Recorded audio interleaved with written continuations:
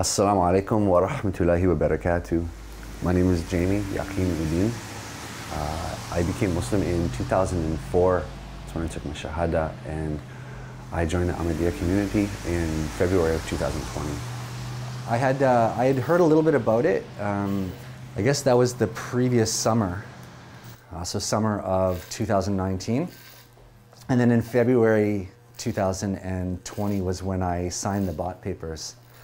Uh, we prayed Isha together and sat with the Imam uh, Farhan over there and just kind of covered everything. I had already read quite a bit and learned a little bit about the, the promised Messiah and a lot of the, um, I guess, the politics surrounding it, the, uh, the animosity from other sects of Islam and stuff like that. And so going to the masjid and, and speaking with the Imam directly gave me an opportunity to, to learn a little bit more and ask some questions that I'd had and, uh, and get some really like easy answers that just made sense. So I grew up, uh, I was Roman Catholic, born Roman Catholic, and was Christian my whole life.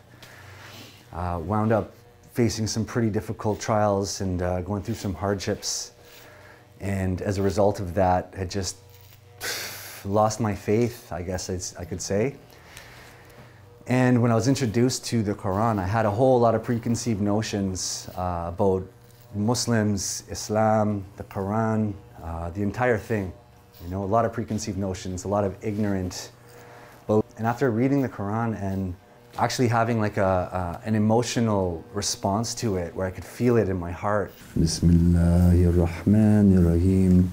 إذا جاء نصر الله والفتح ورأيت الناس يدخلون في دين الله أفواجا فسبح بحمد ربك واستغفر إنه كان توابا It's uh, just something beautiful, you know, that I wish I was able to share more of, I guess, or like I wish people knew, you know, I wish they, they, they could feel the same thing or have an opportunity to experience it rather than shut it down. I guess the connection, like that, that direct connection with Allah subhanahu wa ta'ala has just helped me through everything, has let me know I'm not alone, has given me an opportunity to face whatever was coming my way bravely, you know, boldly, knowing that, you know, nothing, just like it says in the Quran, that nothing would be put in my way that I couldn't overcome, nothing would be too much for me to bear. And as things happen and as, you know, again, like life happens and it's all for something, you know? It's all like as you go through these things and as you overcome things, as long as you have your faith that it's all for something.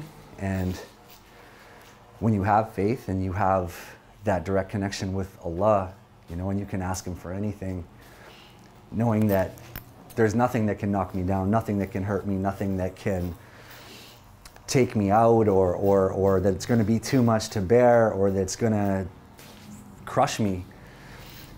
And it just put, it's, it's, it's, it's just really given me a new I guess, a new perspective where I'm much less stressed out, where I take things in stride and where I feel like okay even in the worst of times.